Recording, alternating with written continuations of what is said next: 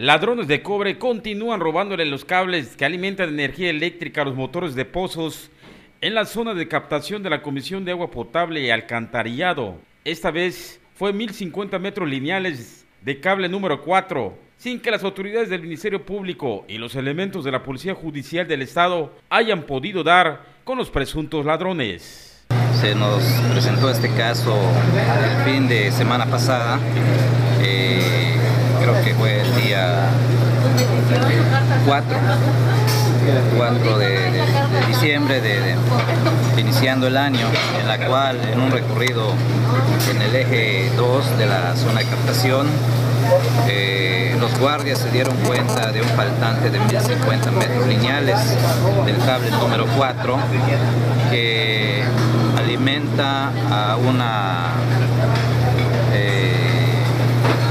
población de 50 pozos aproximadamente. Rápidamente nos dimos a la tarea de subsanar esas anomalías, pues de lo contrario, con algún apagón emergente imprevisto, pudimos haber sufrido unas pérdidas incuantificables financieras. Aparte de que estamos a fin de año y no contamos con el suficiente stock de bombas para estar haciendo frente ahorita a las necesidades emergentes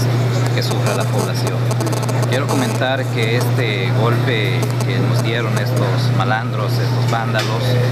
eh, ya fue interpuesta la demanda ante el Ministerio Público, una nueva demanda a la cual están haciendo averiguación previa a los judiciales y esperemos que pronto den con los responsables de este atraco. logramos son 220 pesos total aproximadamente en las chatarrerías hasta el último precio que investigamos estaba en cerca de 95 pesos, quiere decir que los que dieron el golpe pues se sacaron un buen recurso justamente porque golpean a la población, nos ponen en aprietos para estar mandando agua con presión en toda la población y mucho más nos preocupamos porque estamos en fin de año, en las fiestas navideñas en la cual llega mucha gente a vacacionar en esta isla. Hablamos financieramente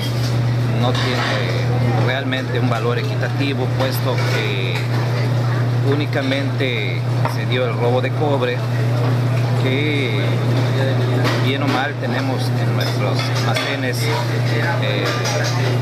este material y rápidamente pudimos subsanar el daño, puesto que si no hubiéramos contado con esto, pues sí hubiese sido complicable la pérdida. Provisión Jorge Q, imágenes, William Wam.